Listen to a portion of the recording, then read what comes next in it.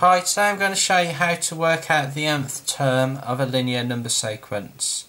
A linear number sequence is a sequence which goes up and down by the same amount each time. As you can see in the sequence that I've done here, the terms increasing by 4 each time.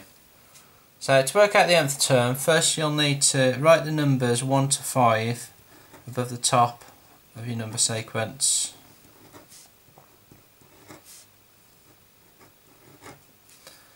Next thing you do is figure out what the sequence is going up in. In this case it's going up in 4s because 5 add 4 is 9, 9 add 4 is 13, 13 add 4 is 17, 17 add 4 is 21.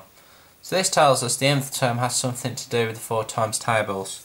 So what I'm going to do is times all these position numbers above the sequence by 4. So 1 times 4 is 4, 2 times 4 is 8, 3 times 4 is 12, 4 times 4 is 16, 5 times 4 is 20. Now you should be able to see now, how do we get from these 4 times tables to the numbers in the sequence? As you can see, if you add on 1 to each of your 4 times tables, it will give you the number in the sequence.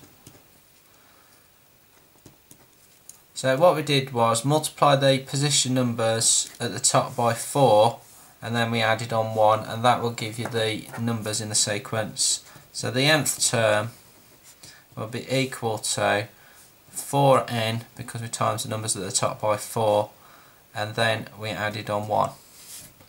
Let's do one more example. So this time we've got 4, 10, 16, 22, 28.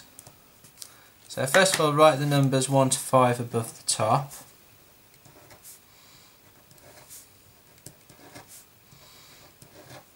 Next figure out what the sequence is increasing by each time.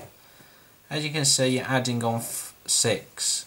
So what I'm going to do is write down my multiples of 6. So we've got 6, 12, 18, 24, 30. Now what do we do to these multiples of 6 to give us the numbers underneath in our sequence? Well, as you can see you have to take off 2.